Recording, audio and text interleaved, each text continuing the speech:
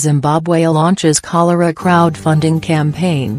Zimbabwe has launched a crowdfunding campaign to deal with an outbreak of cholera that has so far killed 25 people, mostly in the capital, Harare. New Finance Minister Ncube sent an appeal on Twitter, sharing a mobile payment account number. An emergency has been declared and public gatherings banned in Harare to prevent the spread of infection. In 2008, a cholera outbreak killed some 4,000 people and at least 100,000 people fell ill. This was a key factor in persuading President Robert Mugabe to agree a power-sharing government with the opposition, as the government did not have the money to deal with the outbreak. The current outbreak began on 6 September after water wells were contaminated with sewage in Harare. Tests found the presence of cholera and typhoid-causing bacteria which has so far infected over 3,000 people, Health Minister Obadiah Moyo told reporters on Thursday.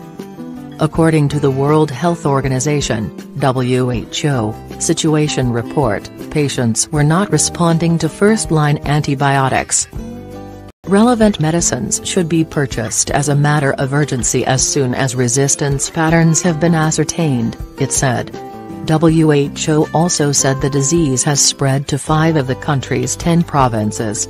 The cholera outbreak can be traced to Harare City Council's struggle to supply water to some suburbs for more than a decade, forcing residents to rely on water from open wells and community boreholes, according to Reuters news agency. Health officials are advising people to wash their hands regularly, drink only safe water, wash food, cook it thoroughly and avoid shaking hands. The government-controlled Herald reports that the crowdfunding campaign has already received some backers.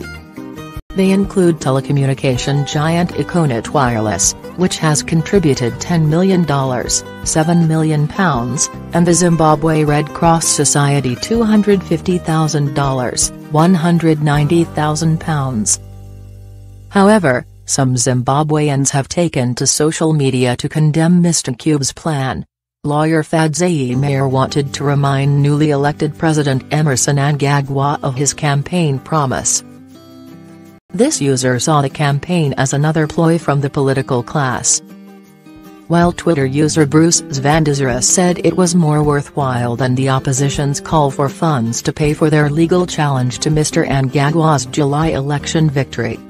This Twitter user wondered why the government had the money to charter a private plane to bring back former First Lady Grace Mugabe from Singapore when her mother died, but does not have funds to deal with a public health emergency.